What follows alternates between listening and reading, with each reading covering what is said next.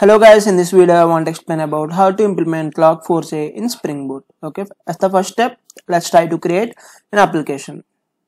And here I am selecting Spring Boot version 2.7.6 and let me select the dependency Spring Web and let me give some name for my package and for the application also Spring Boot Logger.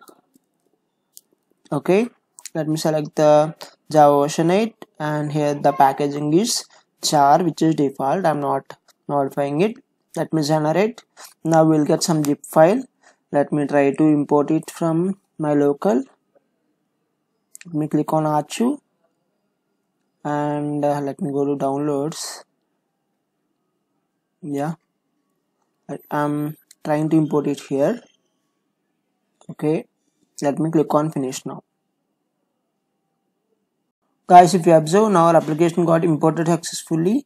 And now if you want to implement log4j in this spring boot application now what you need to do means first of all you need to exclude logback okay i will show you it here in dependency hierarchy. If you search for logback it is by default added by spring boot guys. Okay so what we need to do means we need to exclude and add some log4j dependency. If you observe what I have done means I have excluded this Spring Boot starter logging from starter web dependency and I also added starter log4j2 dependency. Now I hope you guys understand. If you have logback already existing in the project, this log4j will not work. It will create some issues actually. Okay, I hope you guys understand. Now let's try to create some log4j2.xml file.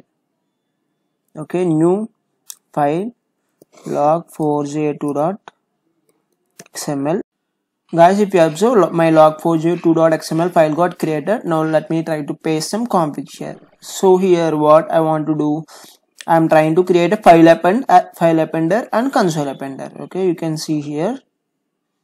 And if you observe here i'm trying to create a file at c logs spring boot app and application.log it is my log logger file okay? And it is the path.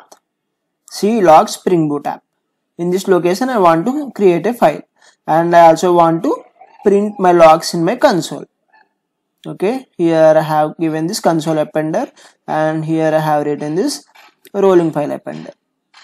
And my root level is debug I hope you guys understood. Now and don't worry guys about this log4j2.xml and uh, this dependency. I will paste github link in my description and you can refer this uh, log4j2.xml and this dependency from my github. Okay?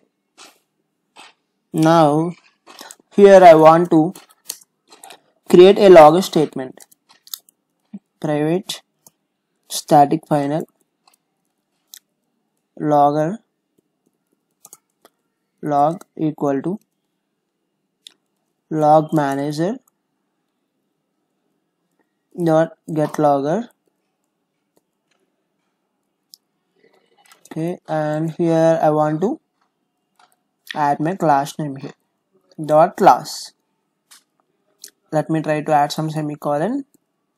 Now let me try to add some loggers here. Log dot debug debug message okay. In the same way let's try to add logs for different levels. Okay info. And let me edit it here info. Now let me add level for error